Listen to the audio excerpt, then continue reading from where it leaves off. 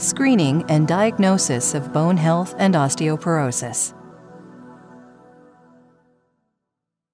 Osteoporosis is often called a silent disease. Your bones get weaker over many years. You might not know you have osteoporosis until you break a bone. Screening for osteoporosis can help you understand your bone health and take steps to protect it. A bone density test is a snapshot of your bone health. It measures your bone mass and helps assess your risk for a fracture. If you've had a bone density test before, a repeat test can measure changes in your bone mass. If you've been treated for osteoporosis, a bone density test can measure how well your treatment is working. You should get a bone density test if you are a woman age 65 or older, a man age 70 or older, or a woman under 65 or a man under 70 with a high risk for a fracture. Some common reasons for high fracture risk are breaking a bone in a minor accident, having a parent who broke a hip, having a medical condition that can cause bone loss, such as diabetes or rheumatoid arthritis, and being treated with certain medications, such as steroids like prednisone.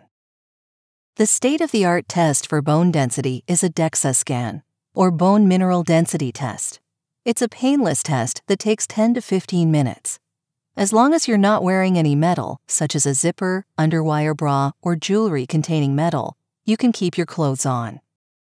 You need to lie still, face up, on a padded table as the arm of the scanner passes over you. The scanner uses a very small X ray beam to capture images of the bone in your hip and lower back. The bone in these locations is the type of bone that tends to lose density as we get older. A bone density test is safe the scanner uses about one tenth of the radiation to that of a chest x ray. That's less radiation than you'd be exposed to on a coast to coast flight.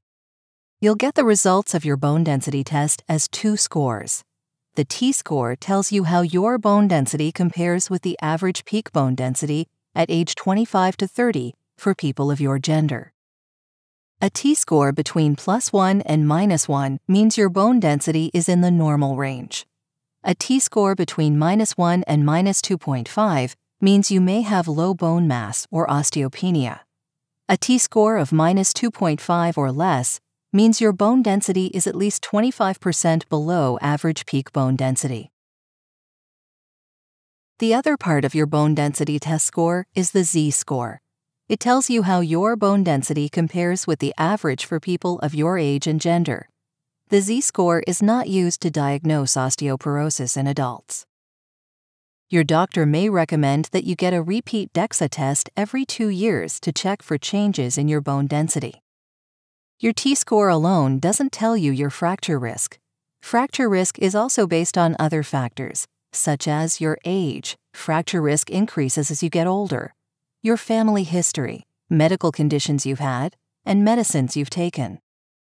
You can use American Bone Health's Fracture Risk Calculator to estimate your fracture risk. FRAX is another tool that can help you measure your fracture risk. Both of these tools measure the risk of breaking a hip or other major bone over the next 10 years. A T score of minus 2.5 or less is the threshold for being diagnosed with osteoporosis. Some experts would say that a patient has osteoporosis if they have a risk of 1 in 5 or higher of experiencing a fracture in the next 10 years. Regardless of your T score, medical experts say if you are a woman past menopause or a man over 50 and you break a hip or other major bone, you have osteoporosis. Also, if you have low bone mass and a high risk for fracture on the FRAX tool, your doctor may recommend that you begin treatment for osteoporosis. Another type of test uses sound waves to measure bone density. A low T score on one of these tests may need to be confirmed on a DEXA scan. Also, some DEXA machines have software that can measure trabecular bone score, which can indicate bone quality. Your doctor may want you to be tested for other conditions that can cause bone loss, such as malabsorption or abnormal calcium levels in the blood or urine. Talk with your doctor or another member of your healthcare team if you have any questions about your test results or your osteoporosis diagnosis.